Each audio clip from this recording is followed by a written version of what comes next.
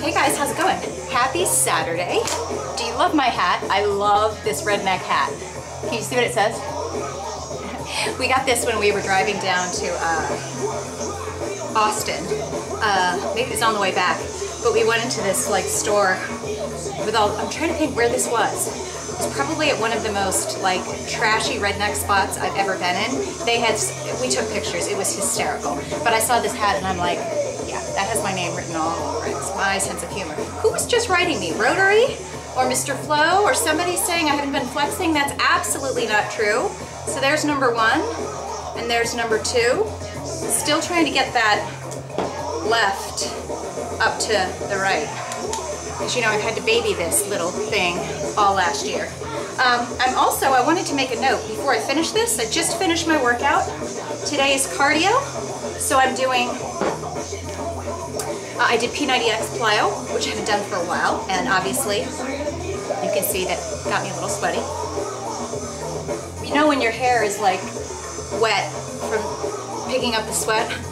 It's kind of like really gives new meaning to a ponytail. That's what horses do. They knock the flies off themselves. I'm knocking the sweat off myself. But anyway, I made my uh, second meal with the egg protein, and I told you guys before. So I'm trying, uh, well, I'm using now, not trying it anymore. I tried all of them, um, and I like all of them. But I'm using, you know, non non-dairy protein powder. Now this is the egg protein powder that I told you about. I'm doing Vega, Vega Sport protein powder uh, from GNC that they sent me. GNC egg protein powder and then GNC soy 95, which again, I'm always gonna say this because some people immediately go, what's up with soy? Um, two things. The soy from GNC, and it, it very explicitly says it on the back, non-GMO. I would not be using it if it was not non-GMO. Secondly, join us if you can next Wednesday. Um, we're doing a Twitter chat. I have sweat dripping down my arms right now. It's hard for you to see.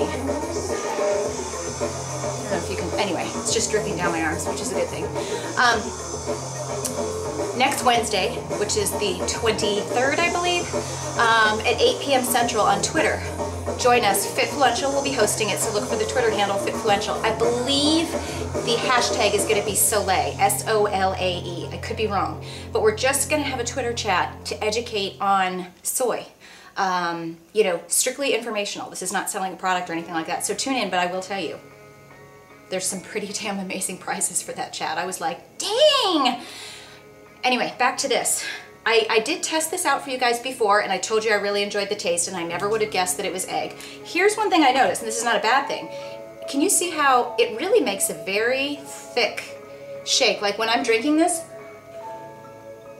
and I make all my shakes with um, the Blue Diamond almond milk.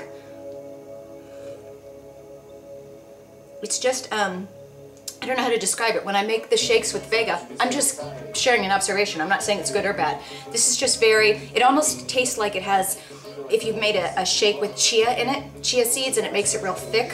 Um, that's what I get with this egg protein. So just an observation. Not that it's good or bad. Anyway, all that said, there you go. So here I am wrapping up my first week. Dude.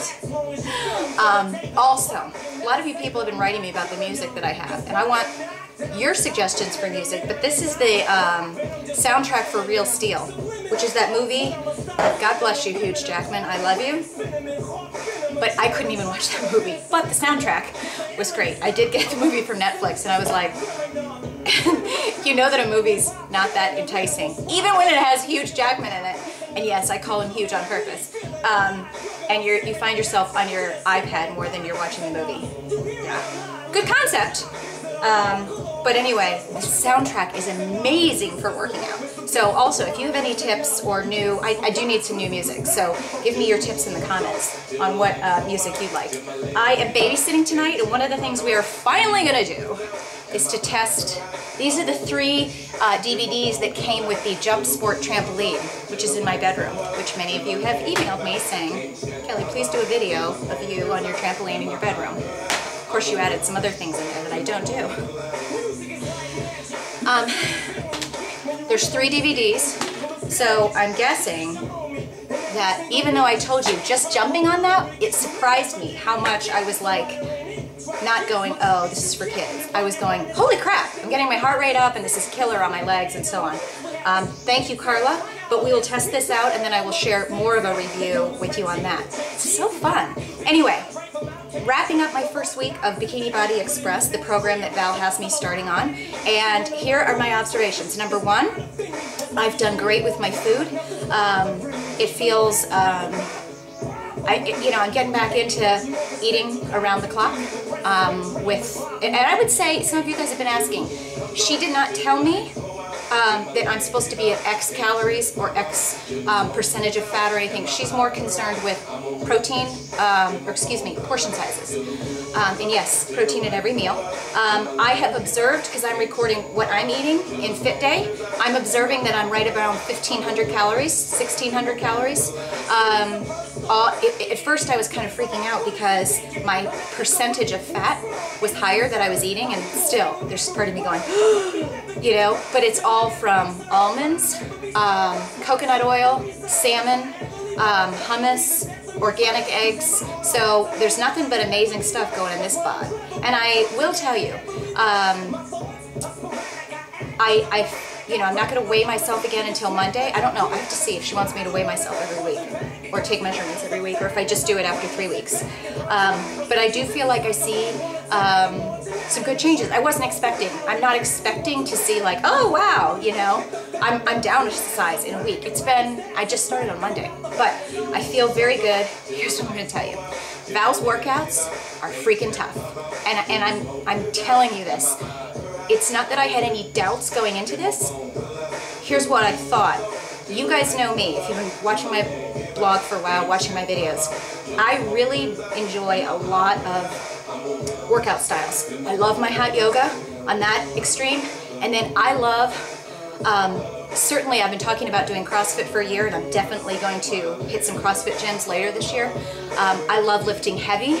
I love kettlebells. I love isolation training. So there was part of me that when I was looking at the workouts, just the beginning of this week, I was like, there's just, I'm just telling you, this is, I'm not happy to say this, but I'm glad, I'm only sharing it with you because I no longer think that. I was looking at this going, is this really gonna, you know, because I, I have, I'm not one of those, you know, I'm not one of those women that's like, I don't want to get too big. I don't want to get too muscly.